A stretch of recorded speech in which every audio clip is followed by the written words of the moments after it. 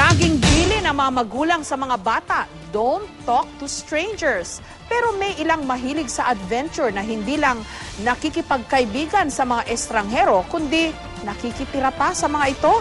Sila ang mga tinatawag na couch surfer. Kilalanin sila sa report ni Trisha Zafra.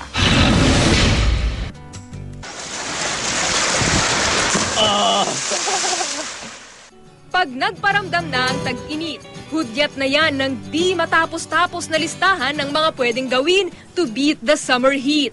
Pero kaya mo bang mag-adventure sa isang di pamilyar na lugar kasama sa iisang bubong ang isang estranghero? Ang binatang sinuki kung saan-saan na raw nakarating. At sa kanyang pamamasyal, nakikituloy siya sa mga bahay kahit pa di niya personal nakakilala ang may-ari nito. Couch surfing daw ang tawag dito. Yung couchsurfing is isang malaking community ng mga magkakaibigan, mga travelers. Sabi na natin may budget ka, pero mas gusto mo yung parang makitira, parang ma-experience yung paano yung pamumuhay nila. Pwede kang tumuloy doon, makituloy doon sa taong yun.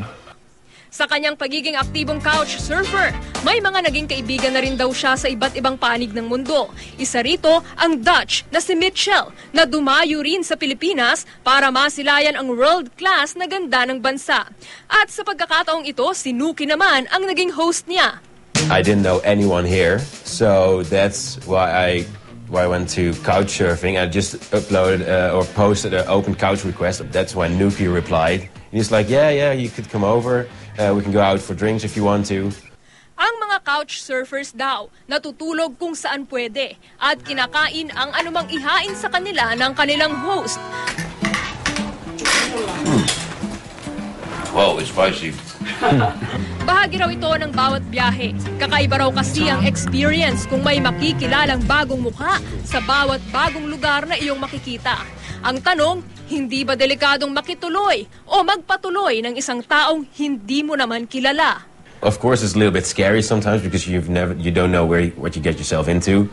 But yeah, like I said, I trusted Nuki. Like his profile was really interesting, and we start talking, and it felt really yeah, it felt good that I could trust the guy. May rules ako na sineset kapag nag-host ako. Um, kung ba, may lig mag-yossi, um, pwede siyang mag-yossi either sa rooftop or sa labas, wag lang sa loob ng bahay. Pero mahirap daw talagang pakasiguro. Kaya nabuo ang komunidad ng mga couch surfers sa internet kung saan pwede silang mag-usap kahit mula pa sa magkabilang panig ng mundo. Masusing re-review ng bawat isa ang profile at background bago makipagkasundo at bumiyahe. Hindi naman daw sila basta-basta nagtitiwala dahil hindi lang bakasyon ang nakataya kundi pati ang kaligtasan nila. Panoorin ang kabuuan ng storyang ito sa real time ngayong linggo, alas 9 ng gabi, dito lang sa GMA News TV. Trisha Zafra, GMA News.